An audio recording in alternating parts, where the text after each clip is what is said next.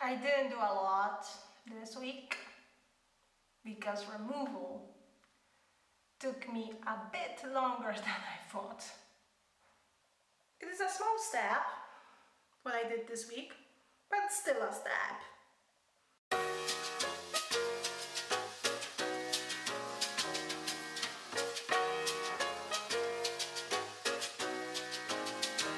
Yes, you are finally in a new place with me we got an echo. Ooh, I have to invest in some mic. So I've changed my location uh, a few kilometers more to the west and uh, we are about 40 minutes from Malaga. So stay tuned when it comes to code and great views because we are still in Andalusia, Spain. I really admire people who are digital nomads and who can pack themselves in one bag and travel the world and work remotely. It's really possible in IT world, but it's hard to do, it's hard to do.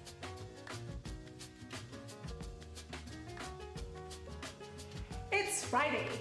This week I just only had part of Wednesday and uh, today, which is Friday, to code. I was thinking maybe I should give up coding this week. so there are the thoughts like that coming to your mind if you have a lot of stuff going on in your private life. But but then I thought, no, no, you have to come back to code. Even if it's a small step, it still makes you stay motivated. If you find yourself in a situation like mine that you are a bit you know, out of code with your mind because you had to do different stuff, mm, simply come back to code. Like this is the best advice I can have for people who are learning to code because the longer you don't come back, the more lazy you get. That's true. That's human nature.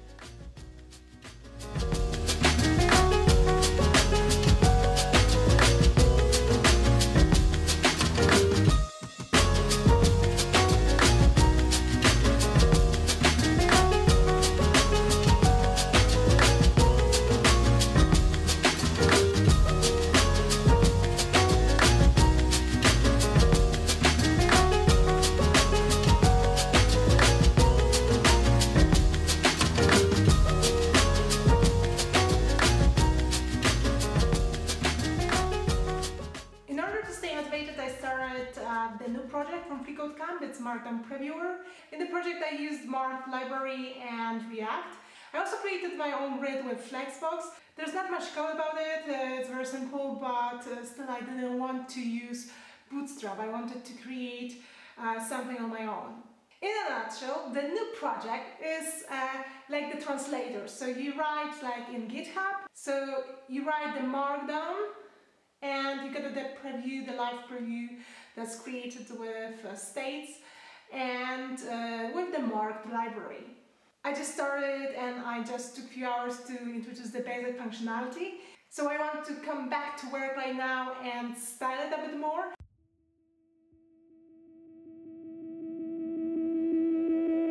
Mm-hmm.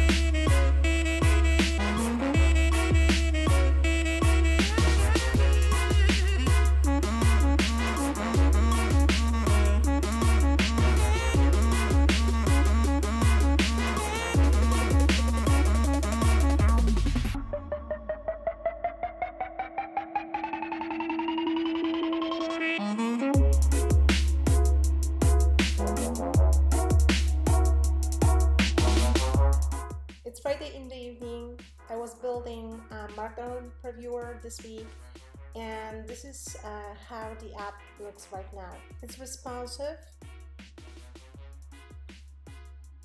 It's got uh, two sections, the Markdown, the GitHub flavored Markdown and the preview. Whenever you start writing something, the hint that uh, appears in the beginning, this text disappears. The task was to build the Markdown previewer uh, using Sass and React uh, and uh, in order to translate the Markdown into styled text um, I use the library mentioned in the task mm, that's a Marked library writing the GitHub flavored text uh, you get uh, the styled output uh, that's visible in the preview.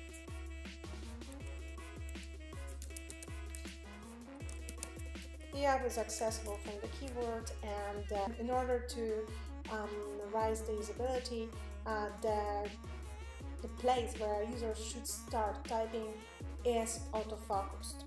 The app is pretty simple, HTML, uh, it consists only of the container and uh, two uh, divs in JS I use Babel and JSX and uh, I create uh, one component, give it initial state, um, later handle the change in the text area and render uh, the output properly. I render everything to the, uh, to the div that class of container, which is this one. Despite the fact that I didn't have a lot of time, I did something. And, you know, I'm really happy with that. Last two weeks were pretty basic about uh, my removal, changing flags, moving the stuff from one place to another, fighting with bureaucracy, and similar stuff. In the first week of my removal, I also co-organized and took part in Frontend Malaga in the workshops that I want to share with you. These were the design thinking workshops uh, led by Alejandro and uh, he really did a great job.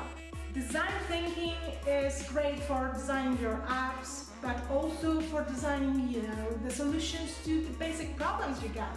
We organized these workshops in a small group and majority of these people were designers, but there were also developers. And uh, it was really nice synergy it was like an introduction to design thinking and we did a lot in practice so there was you know little theory and the rest was really practice and working with uh, the guy who's got a really huge experience in design. What I want to share with you from these workshops uh, as a takeaway is that while designing anything well, you probably know it, but you should ask always why and ask at least like five times um, like, why do you want to do this this way? And why? And why? Asking why a few times uh, makes you think deeper into the problem. Another takeaway from this design thinking workshop is that answers very often close the way to further thinking, to ideas, and to being creative, while questions always open them. So you see more possibilities, you see more options, you make the stuff more usable. And the last takeaway is that the problem also needs to be designed because uh, in order to uh, create something that's useful, that is really a great application, a great product, a great website, uh, a usable product, you have to define the problem. The team has to define the problem. The team has to work on the same problem. Um, the team has to know what's the problem or you as an individual working individually on the project, you have to know the problem and you also have to know what defines the good solution.